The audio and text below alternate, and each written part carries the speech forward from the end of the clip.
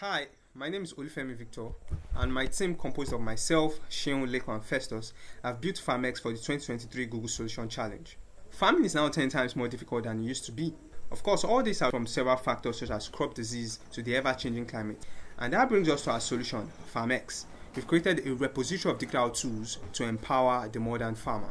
The solution contains several tools ranging from crop and pest disease detection to crop recommendation for farmers and even a wiki for farmers to learn how to farm regeneratively.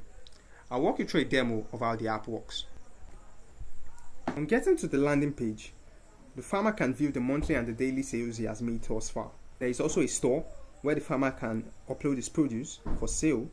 We also have a knowledge base where farmers can actually learn how to farm regeneratively for several crops. We also have a repository of tools which we've built for the farmers. For the crop recommendation, we recommend certain crops for the farmer, as well as profile the climate and the soil data, all inferred from open source APIs. We also have a crop analysis tool, where the farmer can take a snapshot or upload any image from his gallery.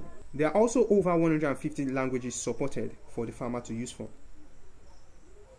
The results are in, and we have a apple leaf. We also return about the disease as well as the latest curing method. Aside all this, we've also created an IoT device that the farmer can use in his farm to actually get the direct or precise readings from his farm.